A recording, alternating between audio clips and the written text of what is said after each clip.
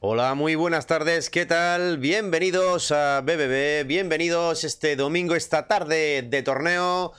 Yo soy Coma White y vamos a disfrutar en el canal de BBB oficial de la final del torneo de Last Dance, el último torneo que en este caso va a enfrentar a los jugadores del mismo clan el clan VM se enfrenta a los jugadores Tank frente a Void que han llegado a la final de este torneo de la Dance, como decía antes, el último torneo de Warhammer 2. La segunda partida en este mapa, que es Columna de Hueso. Mapa que conocemos todos. Vamos a ver la disposición de los jugadores. Ya os digo, mil disculpas, mil disculpas, se ve que ha habido un pequeño error de coordinación ahí. Y la primera partida de la final, pues nos la hemos perdido. A los jugadores con un poquito de prisa, por lo que me comenta Cool Umbrella. Vamos a ver las listas de los jugadores. Vamos a empezar por la lista de Tank. Que nos presenta una primera línea de jinetes oscuros. 1, 2, 3. Corsarios del Arca Negra nos trae otros tres. Cuatro. Dos unidades de Elfas Brujas. Dos unidades de Lanceros. La doble mantícora escoltando a Morazi. Que nos viene con el Revientacorazones. El Roba Almas y la varita de Caraidón. Vamos todo lo rápido que podemos por parte de Void. Forma con una frontline de rebaño de Ungors. Cuatro unidades. Dos lanceros. Dos unidades de saqueadores, proyectil. Carro de Tusgor, dos. En los flancos, dos unidades de Centigors. En la parte posterior, una unidad de Centigors. Y, y, tres unidades de hachas arrojadizas. Como, el, como chamán, como mago, nos trae un, un chamán del rebaño salvaje. Con grito de la manada y la sombra del traidor. Y como general a Taurox con la llamada del carnicero, ansia de sangre y cuerpo de bronce. Empieza la partida, ya, ve, ya comento que los jugadores tienen cierta prisa. Así que no nos paramos mucho. Empieza la partida, empiezan los corsarios del Arca Negra a disparar y a, y a marcharse hacia atrás. Empiezan las primeras escaramuzas. Morazi sobrevolando esa línea, gruesa línea de infantería. Se adelantan los carros de Tusgo, se adelantan los jinetes oscuros para tanquear. Tenemos un asesino cainita en zona. Se me ha olvidado por la premura. Lo tenemos por ahí, por esta zona. Y empiezan las primeras cargas. Carros de Tusgor y Centigors enfrentándose a jinetes oscuros. Aquí vienen los lanceros para hacer de de escudo y defender esas líneas de corsarios de Arca Negra que se marchan mientras gastan su proyectil. Tenemos una carga en el flanco izquierdo de jinetes oscuros frente a Centigors.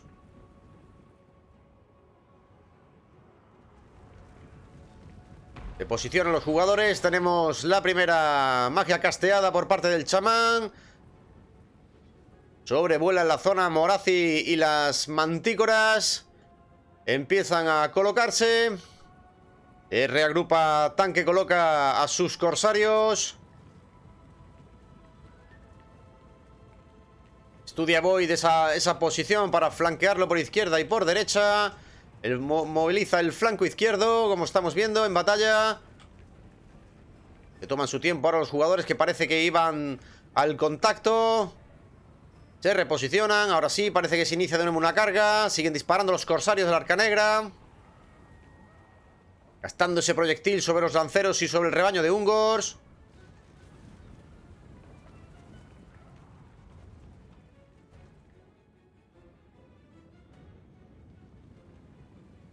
Se ha metido Void en esta, en esta vaguada.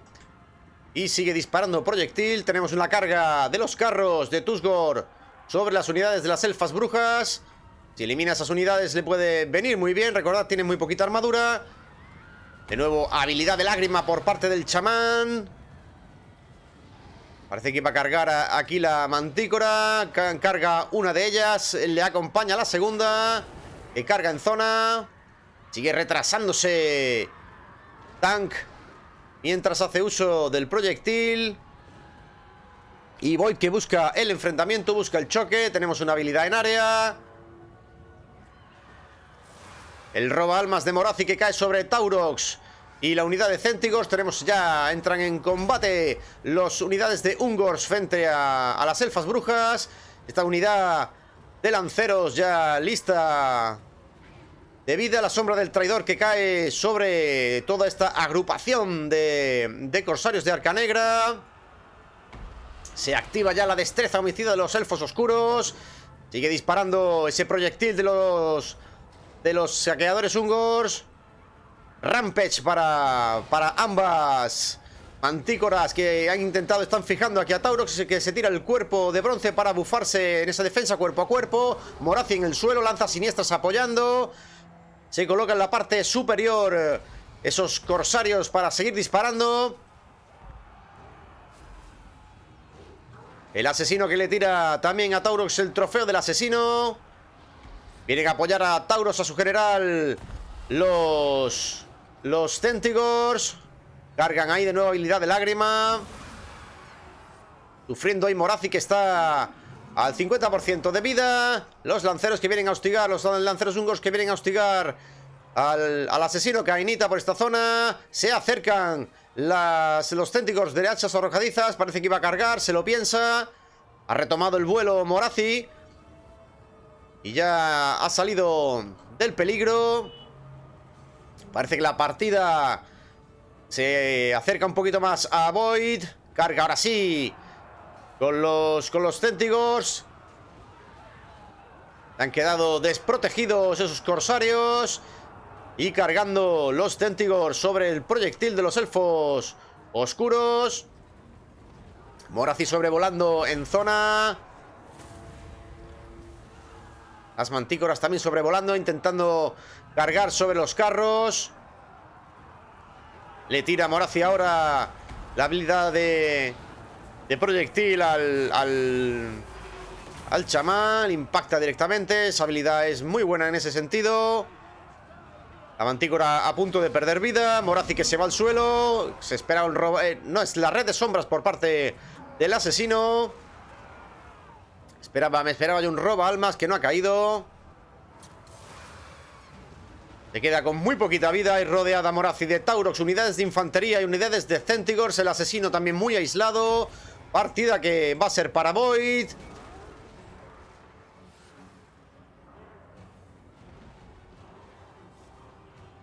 Va cayendo el liderazgo poco a poco de Morazi. Efectivamente. Se queda sin unidades Morazi que va a entregar la cuchara de madera y efectivamente victoria para Void. Nos vamos al 2 a 0.